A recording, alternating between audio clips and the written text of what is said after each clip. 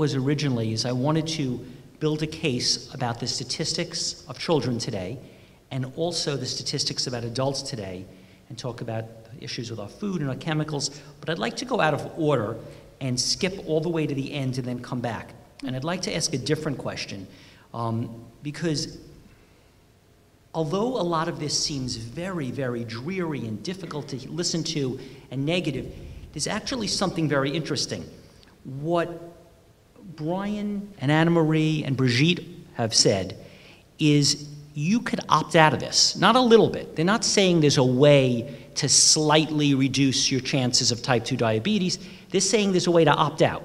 They're saying they, there is a way to completely, completely be on a different path. Not like, you know, reduce your chances a little. They're saying there's a way you could have nothing to do with this whole disease thing. Completely, completely be in a different situation for you and your family, which is something you hear nowhere. No one tells you. Everyone says that this is a tough situation and it's tough. They're saying that's not the case at all. They've had experience where you can completely be on a different track and have nothing to do with obesity, with type 2 diabetes, with heart disease, and with almost all other health issues. So maybe you could explain what for the last 40 years all of you have done that allows a person who is interested in opting out completely, um, what would it take? What can they do to have nothing to do with any of these health issues? What is the program? What's the plan? Um, what should they be eating tomorrow for breakfast? How does someone say, I want nothing to do with this, I've heard enough, tell me the solution? So uh, let's say I go to the supermarket and um, I skip all the aisles except the fresh. Okay, so now I choose things from the fresh. And I choose uh, as many leafy greens as I can to make a beautiful salad. I uh, have maybe avocados. I get some organic seeds or some organic nuts. And I, um, I start that way. And that could be maybe, yes, maybe not the breakfast. Maybe that will be my lunch. So, what if I have just some organic fresh fruit for breakfast now, and that's it. I don't combine it with my uh, grains, my cereals. I don't combine it with anything but I just eat a fresh fruit. And I make a big uh, jug of uh, a lemon that I squeeze in, and you can buy some sweetener called stevia, which is a, in the licorice family and is not a sugar that anybody, even with cancer, diabetes, I can, oh, everybody can have it. So I can squeeze that, put some stevia in, and maybe some cayenne to make me warm, especially if you live up north. And I start that morning like that. And um, so go for the fresh. Start buying more fresh. Skip the other aisles because there's nothing really good there, and especially the chemicals when it comes to household products. I have to hold my nose when I go by there. it's so toxic. So you want to buy good household products that your kids actually could eat if it happened by mistake. So you know, the, every store has fresh foods and uh, has organic by now, like you said, Brigitte. It's, it's available. It's really available. You have uh, farmers markets, which if you live in a town where you have farmers market every Saturday or Sunday, you take advantage of that and support those farmers that come with fresh stuff that they just picked. It, it's amazing. So I would start with getting the fresh. And when you take the kids shopping, mm-hmm. yeah, give them the assignment in the produce aisle, like, I need you to pick out two red foods that you're willing to eat and yeah. two orange foods and have them do the rainbow. You never see a kid having a temper tantrum in the produce aisle. That's right. Right. You're right. right. That's a good point. yes. And, and, you know, start a little garden with them because if they can see that miracle mm-hmm. of life, yeah. of like, wow, I grew a carrot or a tomato, they're more likely to eat it than if they're not connected to it at all. Mm-hmm. Yeah, I mean, to give an example, I reported recently a Princeton University study where they looked at the brains of uh, people, children, adults, uh, on sugar, heroin, and cocaine. what do you think was the most addictive? Sugar. Sugar. So it brought it to mind. I mean, you do see kids even at the natural food markets jumping up and down and screaming when mom says you can't have that cereal. Because the cereal's what? Mm-hmm. You know, legal the- drugs for kids. It is illegal drugs, it really is. The, the thing about this chronic illness epidemic is that if you really want to unpack it, there's probably a hundred thousand variables in our daily life that are contributing and making our, us and our kids sick. So for somebody who's coming to this concept new, it's like a deer in headlights. Like, you want me to change what? I, like your question, what's for breakfast, is probably the best question ever because it's like I got to put one foot in front of the other, and what do I do tomorrow now that I've learned all this doom and gloom, and this is awful. Um, but the way I simplify it, because I think about all the things that I've changed in my life since I've had this awakening, because I haven't always been this way. I had this was an education for me to learn how to live in a healthful way. And you can understand 100,000 things that are threats to your life EMFs, GMOs, antibiotics, uh, toxic factory food. I mean, I could go on for, for anyone on this panel could sit here and give you a book or 10 books on all the things that are toxic to you. But how do you start? And I'll tell you a great word that I love that um, was, is the title of a book written by a man named Jeff Leach, who um, founded the American Gut Project, which looks at the microbiome and how that impacts the hu- human health. In other words, all the microbes that live in and around your body and how you, that impacts your health. He just published a book not too long ago called Rewild. Rewild. And the reason why I love that is because in one word it says what you need to do to live optimally and most healthfully, which is to try and reintegrate yourself, your life, your family into the wilderness, natural, everything that human beings have grown for thousands of years to, to adapt to.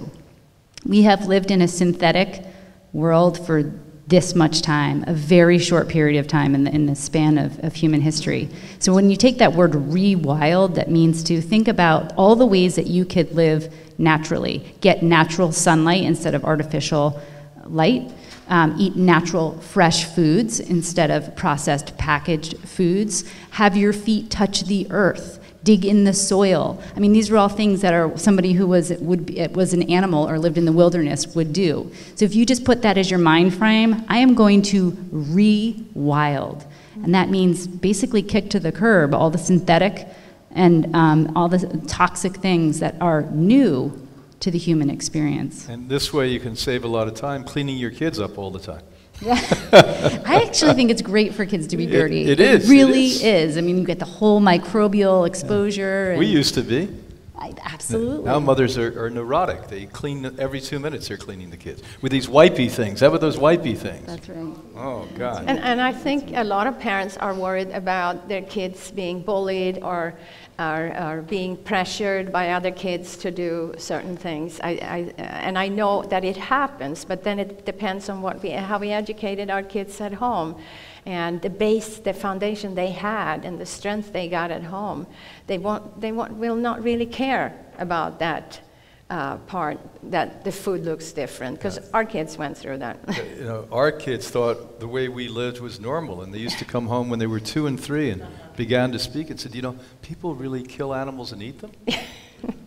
they take eggs out of little chickens and they eat them. You know, it was like a phenomena to them. It was like perplexing to these kids. Well, and, and we always had dogs, so when we go in the supermarket and they see meat, they're like, wow, a lot of dog food here. I remember one of them said that to me. He was like, four. This is the dog food section? We said, yes. Notice that people eat a lot of dog food over there. and, and by the way, they've raised, uh, we're so proud of them all. All of our grandchildren are being raised this way because of what you said, Brigitte, is correct. What you're saying. Educate, educate. These are, in my view, my best friends in the world are my children you know. And I'm a father, and they know what I like and don't like, and I say no enough.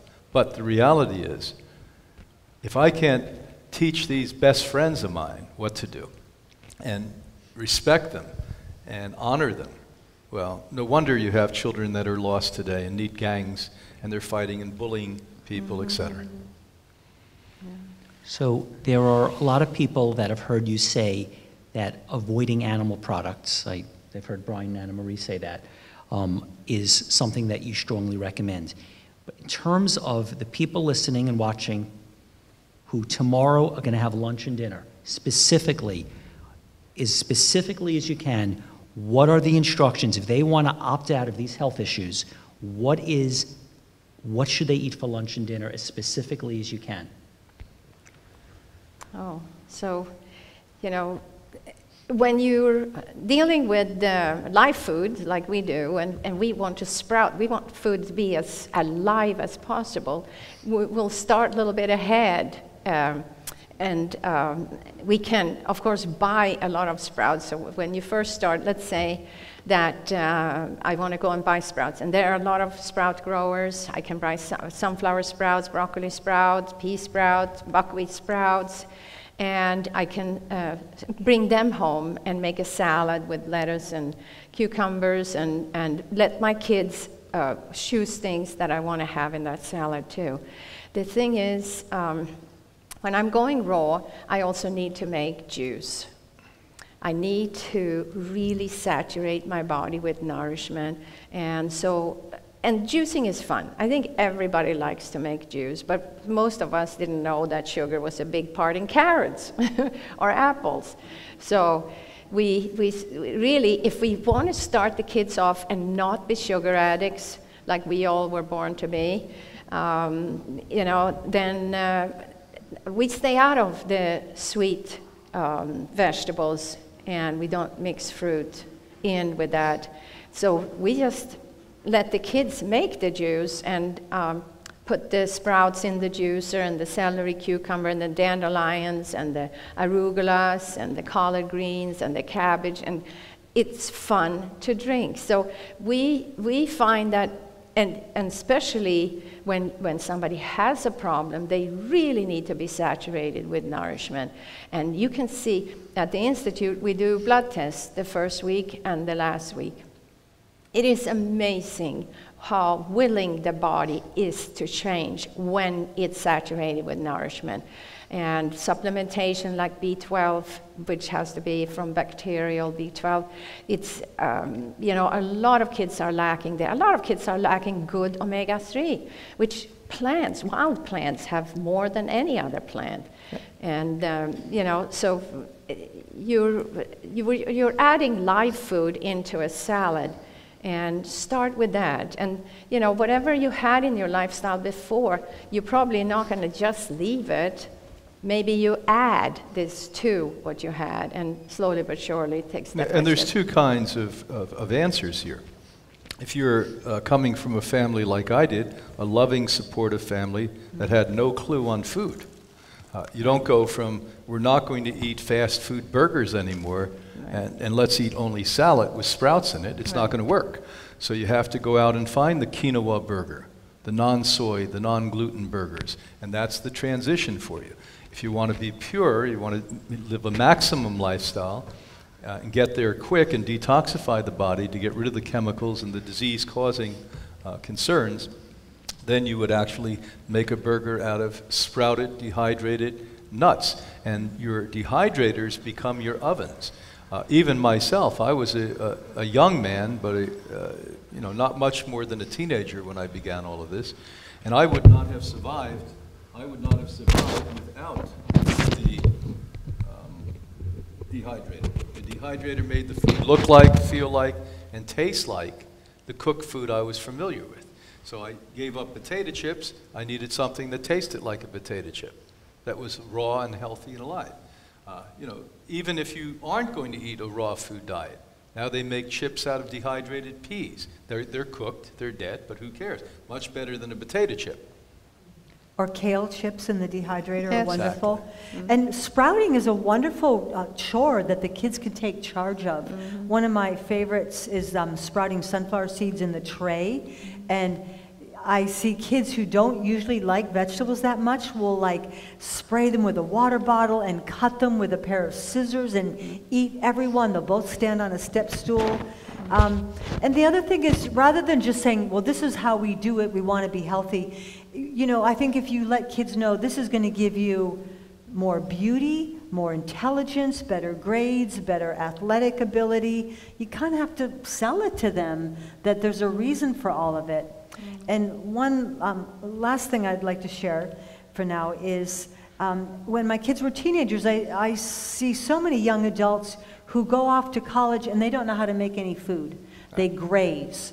And so we would have a thing at our house where whatever cookbook we were into at the moment, you know, whether it was a macrobiotic or raw or 10 talents or something. The all hot dog cookbook. well, no, we didn't, we didn't have that one.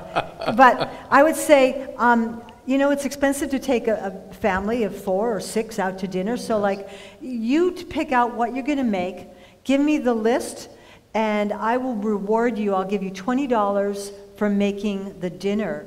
And they would really, you know, one at a time, knock themselves out to really uh, make something gourmet. And the kudos they would get, like, this is wonderful, this is so great. And both of them have grown up to be, you know, really wonderful in food preparation. And one has even written a, a, her own cookbook. So, um, and I, I sometimes, maybe it was bribery a little bit, but I like to say it's rewards. I would reward my kids for reading books that I thought were important. Hmm. Like, you know, I really think if you read, if you read this or if you take this class, I'll give you $5 so they could earn some money and yet you're going to have to give them money anyway. So I felt at least I can have some right. influence to get them to imprint on things and put that on their hard drive. So.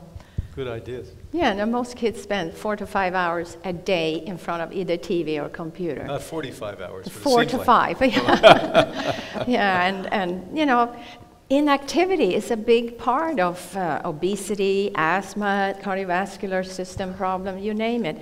And, um, you know, it's, as a parent, we kind of have to shut those things off and, and say, okay, we're going out, we're going to go for a bicycle tour. And, and kids love it. They, they just are waiting for us to, to take that uh, part and, and get them going.